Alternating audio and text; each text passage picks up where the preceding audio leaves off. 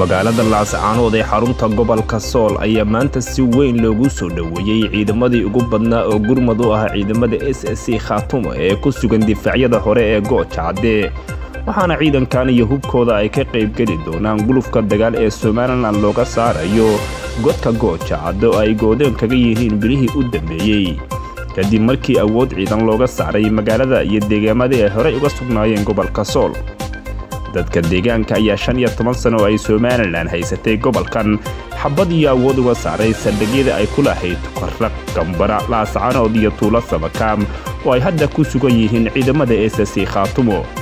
Waxaana ciidankan cusub iyo saanadooda milatari ay markaan ka qaybgeli doonaan dagaalka looga saaraya godurwaaga goojacadee ciidamada somalilan oo ay gacanta kaga hayso gobolkii sool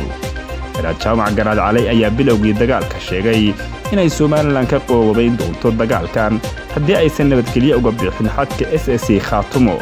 balse taasi ma hirgelin somalilan dhankeeda.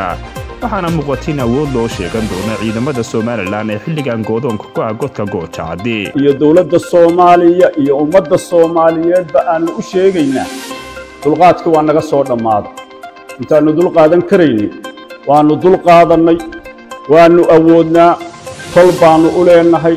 allah caadiloo guushanna siiyey baynu haysannaa. Haddii reer sheekh isxaaq innaba caqli uu ku dambeeyo carruurahooda ha naga kaxaystaan guryahoodii ha kula noqdaan. Deegaankooda ha ku ekaadaan. Dalkayaga ha nooga baxaan. Odhan mayna naga guura gurigeynba iyo goobta joogsada ah ee waxaannu leennahay deegaankiinna iyo dalkiinnaba ku noqda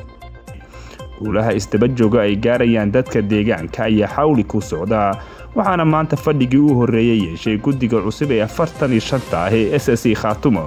oo bedelay guddigii aya ka talinta gobollada s s c ee soddon iyo saddexda ahaa waxayna maraykan maamuli doonaan guud ahaan arrimaha deegaanka s c dhanka amniga dhaqaale ahaan iyo siyaasadba waxaana dhowaan loo dhaarin doonaa mas'uuliyadda loo igmaday waa ku dhowrdhab jab somalilan hirgelinta nidaamkan balbilowga oo ah maamulka s s c khaatumo.